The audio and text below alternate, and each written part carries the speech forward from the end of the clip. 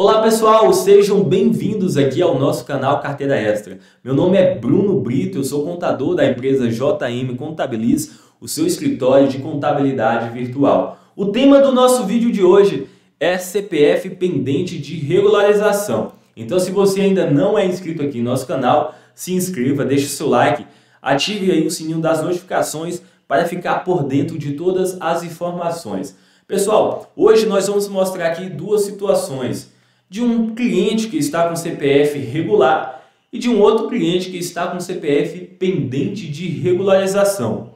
Mas com certeza que são clientes fictícios para que você não obtenha dados né, dos nossos clientes. Aqui, acima de tudo, responsabilidade com os dados dos nossos clientes. Então, só lembrando mais uma vez, são clientes fictícios, tá? São informações criadas para que nós possamos mostrar para vocês na prática o que deve ser feito para consultar, o que deve ser feito após a consulta e o passo a passo para poder regularizar a situação do cliente que está com o CPF pendente de regularização. Então vamos lá. Primeiramente, eu vou aqui mostrar para vocês, este é o nosso site, o nosso escritório virtual aqui de contabilidade. Por aqui recebo centenas de clientes todos os dias que vêm até nós à procura de solução para a sua pendência, seja com o CPF, seja com a empresa, mas hoje o foco do vídeo é falar sobre CPF pendente de regularização. Então vamos lá. Eu vou colocar aqui na descrição do vídeo o link do site para que você possa fazer a consulta da situação cadastral do seu CPF. É esse site aqui, é um site da Receita Federal. Você vai colocar o seu CPF, e vai colocar a data de nascimento e vai clicar em Sou Humano e vai consultar. Estou fazendo tudo, tudo isso aqui pelo computador, mas pode ser feito pelo celular tranquilamente, ok? Vamos lá. Colocando os dados, você vai clicar em consultar e vai aparecer essa próxima tela. Aqui é um cliente fictício, o João Santos de Oliveira. Ele está com CPF regular.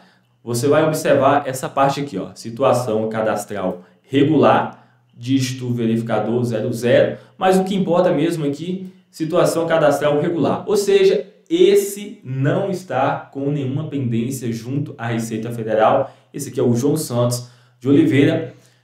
João, foi um prazer, fiz a consulta para você, não te cobro nada, pode se sentir à vontade para fazer algum outro pedido ou simplesmente agora vamos passar para o próximo cliente. Esse aqui é o Guilherme Souza, ele está com CPF pendente de regularização. Acabei de consultar aqui para ele e apareceu isso aqui. Você também pode fazer essa consulta aí, link na descrição do vídeo para você consultar o seu CPF. Pronto, Bruno, acabei de fazer a consulta e consta aqui situação cadastral pendente de regularização, assim como está aparecendo na sua tela. O que, é que você deve fazer?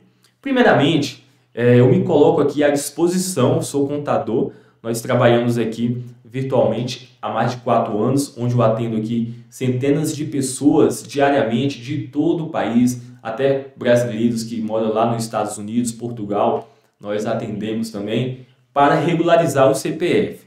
Então, eu vou deixar aqui na descrição do vídeo dois links. O link do nosso site para que você possa ver mais informações sobre a nossa empresa, depoimentos aqui de nossos clientes, tá? Tem tudo aqui. E vou também deixar o link do nosso WhatsApp, do nosso escritório, onde você vai contactar aqui ou a mim ou algum dos nossos parceiros aqui na nossa empresa, na JM Contabiliza. Nós vamos bater um papo e nós vamos com certeza resolver sua situação.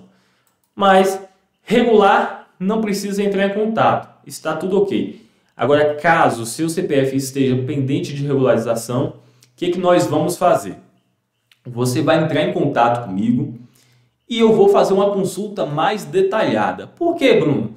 Porque assim, o que significa pendente de regularização? Significa que você ficou omisso de declaração de imposto de renda, ou seja, você deveria ter entregue a declaração para a Receita em um determinado ano, nos últimos cinco anos, e em algum desses anos você não entregou.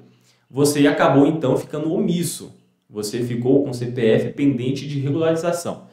Existem três maneiras no qual é, fazem com que as pessoas fiquem com o CPF pendente de regularização com mais constância. Ou seja, tem três motivos pelo qual as pessoas mais vêm até a nós com essa situação. Primeiramente, a pessoa ela ficou ali com operações de day trade sem declarar, ou seja, ela operou day trade e não declarou. Bruno, eu operei só um dia, é obrigado. Bruno, eu tive prejuízo, é obrigado. Bruno, operei só um centavo, não importa.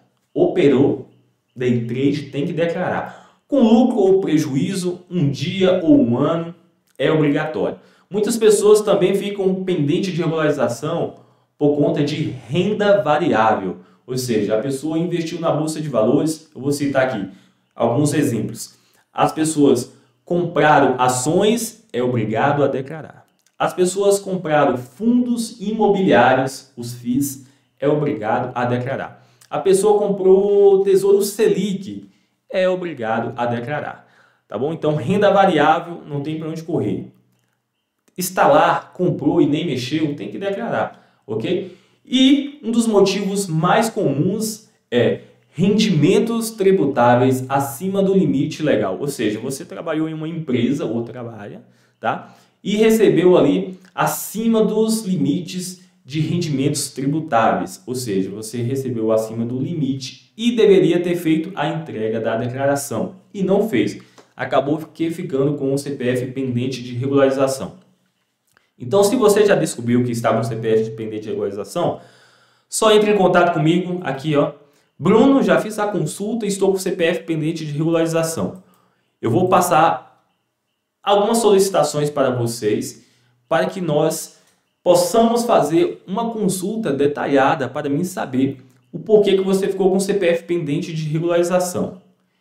E aí nós vamos fazer o procedimento que deve ser feito fazer a declaração de imposto de renda, fazer o balanço dos rendimentos tributáveis, balanço da renda variável, fazer balanço das suas operações de day trade, que é uma das declarações mais chatas, complicadas de fazer, porque tem pessoas que operam por o ano todo, né? Então, todo dia a pessoa fez inúmeras operações, você tem que fazer é, o balanço de todas aquelas operações diárias para encontrar o resultado mensal. Então, existe ali maneiras é, para que possamos saber qual o melhor caminho e o que deve ser feito. Então, é, nós estamos aqui à disposição, nosso escritório tem pessoas capacitadas para fazer a regularização do seu CPF, não importa em qual modalidade ele vai se encontrar, seja em omisso por rendimentos tributáveis, ou por renda variável, ou por operações day trade, nós vamos fazer